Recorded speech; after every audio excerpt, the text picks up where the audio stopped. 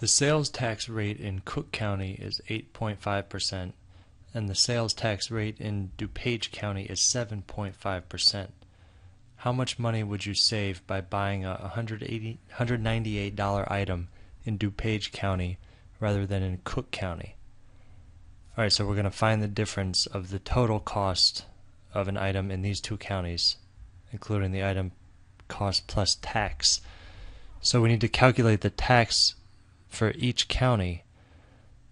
And to do that, you multiply the tax rate by the item cost. So Cook County will be $198. $198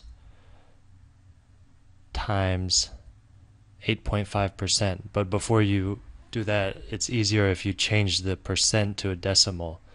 So to change a percent to a decimal, what you do is 8.5%. You move the decimal two spaces to the left, one, two, and add however many zeros you need, and replace the decimal. Get rid of the percent, so it's 0.085. So 8.5% equals 0.085.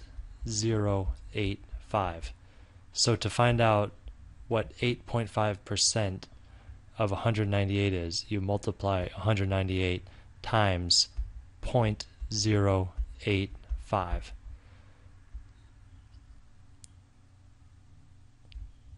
You could do it that way, but what I normally do is in this kind of situation, I would multiply 198 times 1.085. Each way you could arrive at the same answer, but if you put the 1 there, when you perform this multiplication, which we can do right now, is 198 times 1.085. Since on, on this part of the test you can use your calculator, is 214.83.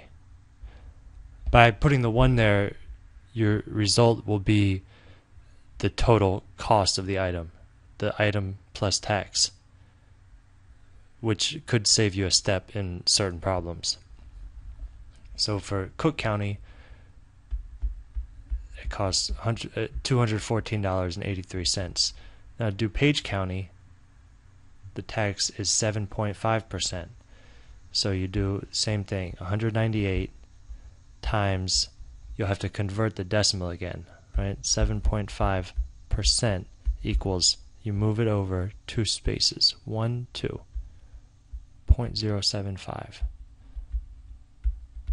And I add the 1 before the decimal so I can get the total cost. The 1 will factor in this original item cost 1.075.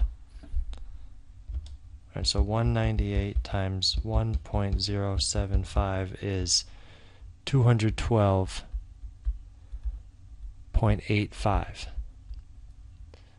Now all I need to do is find the difference between these two. Minus 214.83 is $1.98.